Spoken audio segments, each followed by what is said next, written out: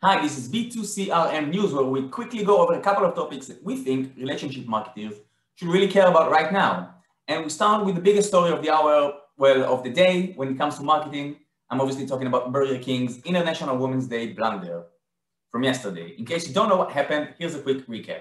Well, yesterday we witnessed yet another edgy stunt from Burger King's edgy marketing team. This time the campaign including an, included an ad and a tweet that first stated that, as you can see, women belong in the kitchen. Then they immediately followed it up by saying that actually, well, women belong anywhere they want to be.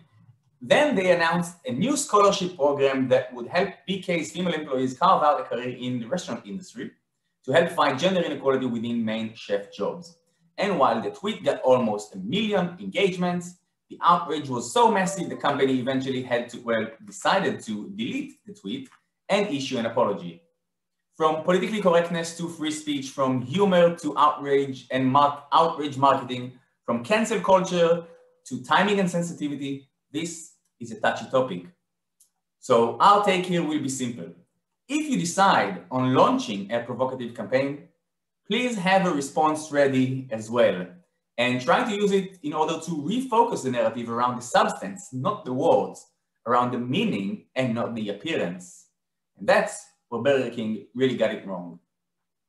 On another topic, it's March, and after the coronavirus outbreak got the previous March Madness tournament canceled for the first time since its creation back in 1939, as even the World War didn't stop it, two successful B2C brands are bringing bracketology back to life.